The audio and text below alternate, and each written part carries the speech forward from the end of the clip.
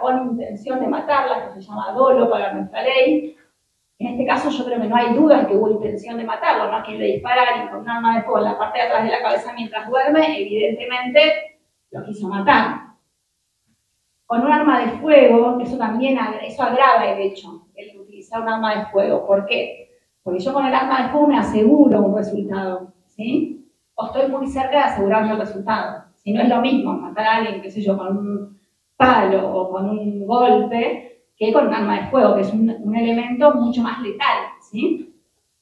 Y después la alevosía, esto tiene que ver porque Federico estaba indefenso al momento de, del hecho, o sea, estaba durmiendo, estaba en su casa, con la persona con la que él pasaba mucho tiempo, con un amigo, para él un amigo, durmiendo en su casa con un amigo, él estaba tranquilo, no se imaginó nunca que su amigo iba a utilizar un arma de fuego para matarlo, o sea, no tuvo posibilidad de reacción ni de defenderse, y Sáenz de Sumarán se aprovechó de esto para matarlo, de que él dormía, de que no tenía posibilidad de defenderse.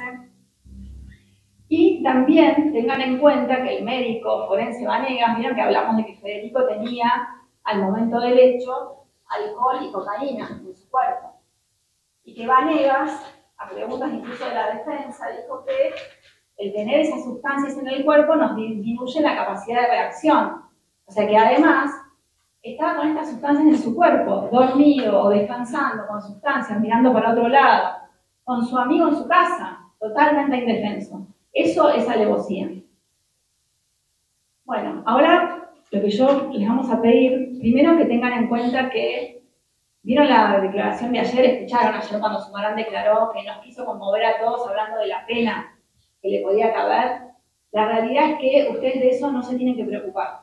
Si ustedes lo declaran culpable a Sáenz de Sumarán, va a ser el doctor O'Connor, que es el juez técnico, quien va a decidir cuál va a ser la pena imponer. ¿sí? O sea que eso no es un problema que ustedes tengan que resolver ahora. Por otro lado, eh, Sumarán, pese a esta posibilidad que tiene de ir preso por mucho tiempo, todavía puede hablar, sentarse ahí, alzar su voz, defenderse. Federico ya no está.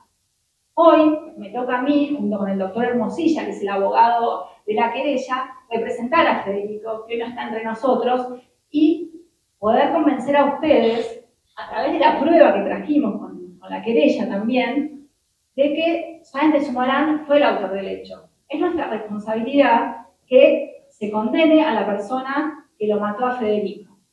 Él ya no lo puede pedir por sí mismo, por eso tenemos que estar nosotros pidiéndolo. ¿Se acuerdan que yo les dije que hace 14 años que soy fiscal? La realidad es que uno nunca se acostumbra a ver el dolor de una madre. A una madre que, a quien injustamente le matan a un hijo. En este caso, Graciela sufrió la muerte de su hijo, de su hijo más chico, de manera injusta porque lo mató su amigo. Yo lo que les pido es que lo declaren culpable a Sáenz de Sumarán por el homicidio de Federico Coponi, agravado por arma de fuego y por alevosía, para que Graciela, esta mamá que perdió a su hijo, pueda tener justicia. Muchas gracias por la atención.